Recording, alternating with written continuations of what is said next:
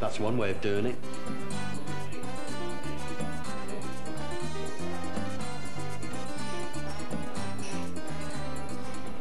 And that's another. Either way, both of these couples have just exchanged 250 types of viruses and bacteria, 9 milligrams of water, and 0.2 milligrams of unspecified organic matter. It's a disgusting thought that we could swap all those bugs in just one kiss, but luckily, kissing is relatively harmless.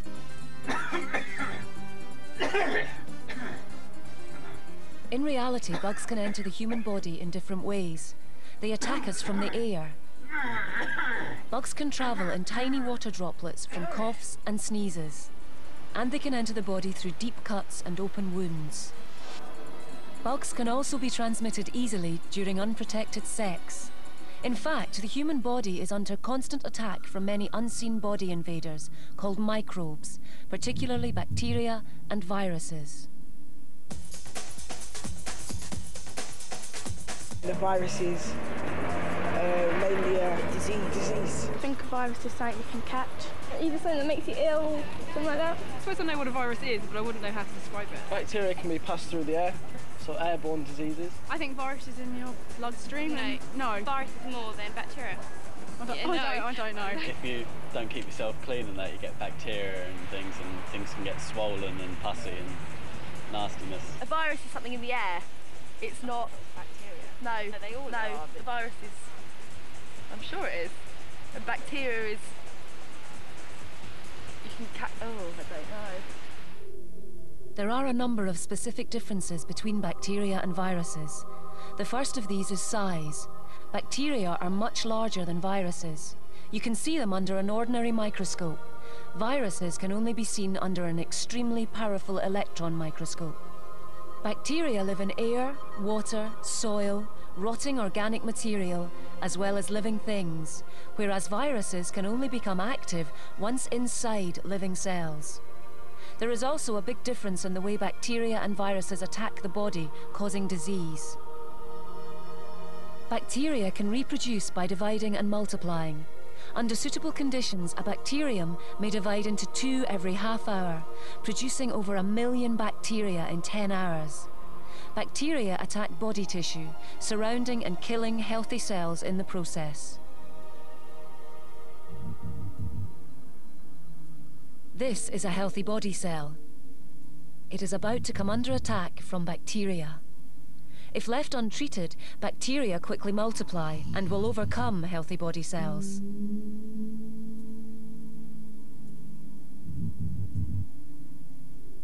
Viruses multiply by inserting their genetic material into living cells. Once inside, they reproduce in safety, hidden from the body's defenses. The viruses then spill out and invade other cells.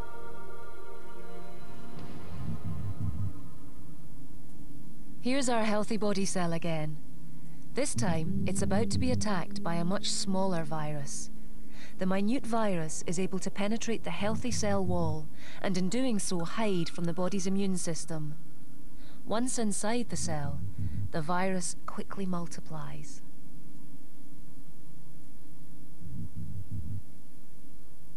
The body has a number of ways to fight against the bugs and protect itself. And the first line of defense is common sense. There is no way you would do this. But you might forget to wash your hands after you've been to the loo. And if food looked like this, you'd never eat it. But you might eat food past its sell-by date. So when it comes to avoiding microbes, use common sense. Our second line of defense is the body's natural armor, the skin. In addition to being a tough barrier, the skin's pores ooze a mild antiseptic which attacks viruses and bacteria. However, the invaders are eager to get into the body and take advantage of all natural open doors. The biggest is the mouth, and microbes love it. It is wet, warm, and full of places to hide. Although it is protected by saliva, which has antiseptic qualities, the lining or mucous membrane in the mouth is soft and relatively easy for bacteria and viruses to penetrate. As for the invaders which venture down our throats, they are in for a grisly end as they splosh into the stomach, which is a bag of strong acid. However, occasionally the body encounters the Arnold Schwarzenegger of the bug world. These are strong, resistant strains of microbes which get through all our defences and make us ill. The mouth may be an open gateway for viruses and bacteria, but that doesn't mean that we should stop kissing. We have a powerful final line of defence to deal with invaders which do get inside our body. The blood contains white cells which move around the body looking for invaders. These white cells make up our immune system.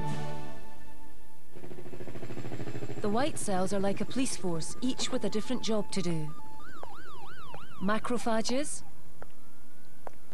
helper T cells, killer T cells, and B cells work together as a team to fight invading microbes and toxins. Unchallenged, some microbes cause disease. White cells are on the lookout for microbes and toxins. The white cells called macrophages are on patrol to detect invaders.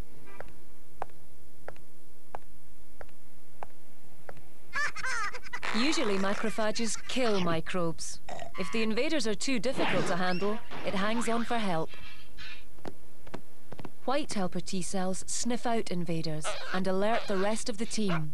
Killer T cells and B cells. Killer T cells destroy the invader, and B cells make tags called antibodies. It records and labels each type of microbe, and then creates tags or antibodies which lock onto the invader like a jigsaw. These tags are distributed in the body to trap unsuspecting bugs. When more bugs arrive, some are caught and identified. Killer T cells are alerted. They destroy both invader and tag. If the same bug revisits, its records are already on file. The B cell makes more tags to distribute and have a better chance of fighting a second invasion. However, some viruses are more cunning. They are masters of disguise. Others can hide inside normal cells, making it impossible to produce the right antibody tags. But we can help our immune system with medicines, vaccinations, and common sense. Stay fit, eat well, and keep the bugs away. Yeah! So is it safe to kiss? Or isn't it? You can catch meningitis from kissing, I think. Cold sores. No, actually. I Isn't don't it know. quite quite a long word, isn't it? Streptococcus. Yeah, something or like other. that. You can get that through kissing. You could catch colds and viruses, things like that, so vaginal fever. maybe. Don't think so. No, not well. Nothing serious anyway.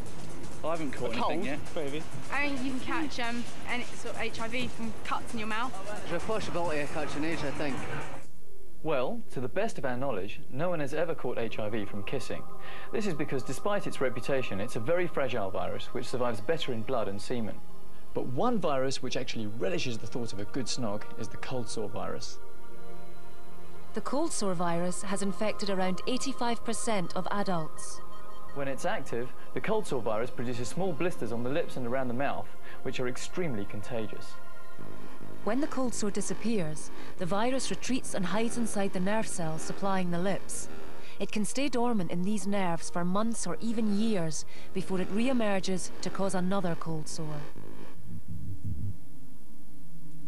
This is a cold sore virus hiding in a box in a nerve ending. Outside the box, the body's immune system is constantly alert, looking for invaders.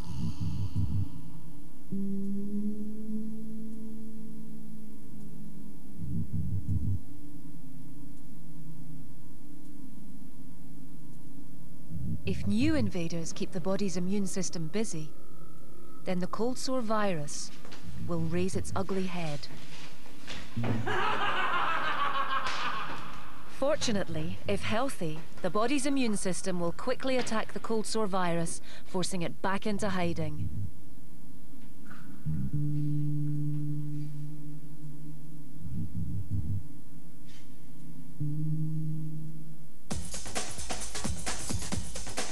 If they've got weeping cold sores, you don't usually bother. I definitely wouldn't kiss anyone with a cold sore. no. If I had a cold sore, I'd still kiss someone, it wouldn't worry me. I probably wouldn't kiss if they had cold sores because it doesn't look very attractive if you catch them. If I was really drunk, I might ignore a cold sore. This man is infected with the cold sore virus, and he is about to develop a cold sore. He has now infected this woman with the cold sore virus.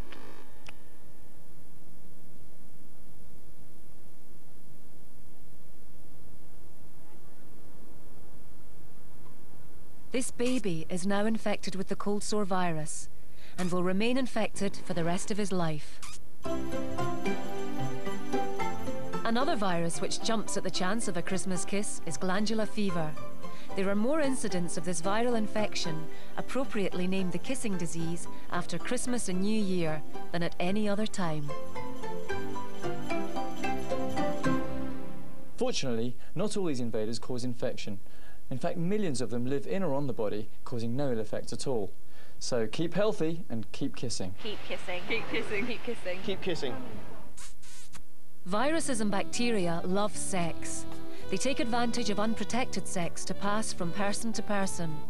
Like the mouth, our sex organs have mucous membranes which are wet and warm. Great places for bacteria and viruses to multiply. And some of these can lead to sexually transmitted diseases. AIDS, HIV. What's the difference between love and herpes? I don't know. herpes lasts forever. I heard of herpes, but I don't know really what it means. What it means. Gonorrhea is like um, gangrene. You can catch um, I hate, I hate like AIDS through sex. Probably the most common infection we see is non-specific urethritis or NSU, which is uh, caused by a bacteria. We also see gonorrhea, which is less common but is also caused by a bacteria. And we see quite a lot of viral infections such as um, herpes or wart virus. And we also deal with uh, viral infections such as HIV and hepatitis. I don't think you would know until something Yeah. got sore and you had to go and see a doctor. you don't just know from looking at someone whether they've got HIV or, or a it, I sexual think. disease or not. You have to get checked out. You'll probably feel nausea and you'll probably feel sick. And Or you'll probably, get a rash or you'll- whatever yeah, you it might is, irritate, whatever you might get really irritatious or, you know, you'll just get really nervous or whatever. You'll probably know from little signs, like uh, you would see um, little ch- changes happening to them. If like, like uh, I don't know really, like probably hair will start falling out or something like that. In women, the symptoms we would look for would be um, an unusual discharge from the vagina and any itching in that area. Uh, we would also be concerned about pain in the lower part of the abdomen. Symptoms of an infection in a man would include pain on passing the water and discharge from the water passage of the penis. Uh, we would also be concerned about uh, any rashes affecting the genital area um, and also pain in the testicles. I had um, unprotected sex about 10 days ago now, and uh, I noticed things weren't as they should be. So I thought it best to come down, somewhat reluctantly, uh, to have it checked out. I always use a condom, it's just so annoying. Just that once, it just takes one go, and I had to put myself through all this. I just wish I had made the effort at the time. It's not that hard.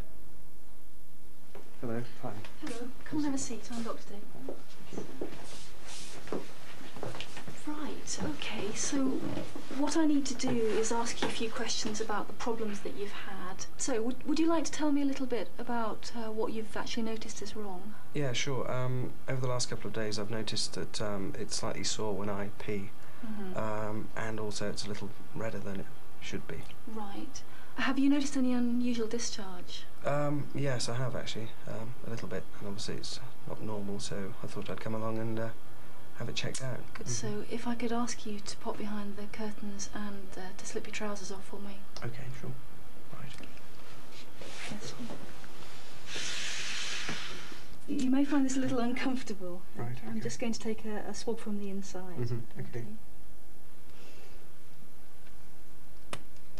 What sort of things will you be looking for? Well, we'll be looking at this slide under the microscope uh, to look for signs of infection. Okay. And also, we can actually see some of the bacteria under the microscope. Right, okay. And then, following that, we'll send these tests off to the laboratory to see if we can grow any infection over the next week. Mm-hmm. Okay.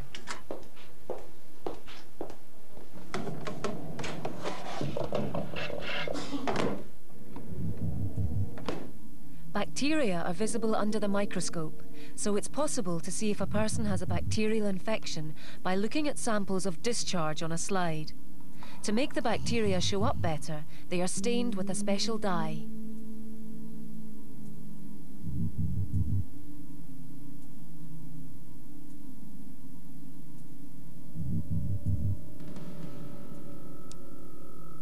From the shape of the bacteria, it's possible to identify the infection. These are the bacteria which cause syphilis. And these cause gonorrhea. Viral infections such as HIV are much harder to identify. They can't be seen under the microscope, and special tests have to be done to detect them. Only bacterial infections can be treated with antibiotics. Bacteria have been grown on this plate from an infected person. The clear zones show where the antibiotic tablets have destroyed the bacteria. So the results have shown that you do have signs of a bacterial infection called NSU or non-specific urethritis. Oh, right, and what does that mean? Well, NSU is a term that we use to cover a group of bacterial infections that cause uh, the irritation in the water passage that you've noticed. Now, the most common cause of NSU is a bacteria called chlamydia, but there are other um, bacterium that cause NSU as well. We can't test for all of those, but fortunately, the treatment is the same for all of them. What uh, form does the treatment take? Well, you'll need to take antibiotics for a week. These are untreated bacteria. These are the same bacteria after being destroyed by antibiotics. Most bacteria can be treated by antibiotics, but antibiotics have no effect on viruses. It's also very important that your girlfriend comes in and gets treated at the same time. Another important thing to remember is that in the future, if you want to protect yourself against infections, that uh, using a condom um, can help you to do that. Yes. I'd probably have unprotected sex after three months if I knew the person's sexual history as well, and I could be sure they hadn't got any dodgy disease. If I was gonna have a sex with a girl, uh, she'll ask me if I was gonna wear a condom. if you didn't know the person's sexual background, then you would use a condom as well, definitely, to stop yourself from getting HIV. I wouldn't mind asking a bloke to use a condom. I know I should do, but it's a hassle sometimes. Nothing explores the moment. I use a condom, but I do that anyway. To make me not use a condom, I, it would be alcohol related, I think. Well, this is just the experience I've had. I wouldn't mind at all if a girl was carrying her own condoms. I think it's good. Condoms don't only protect us from unwanted pregnancies, they also act as barriers against bacteria and viruses. Even though viruses are extremely small, they are still too big to pass through the condom. It acts as a second skin.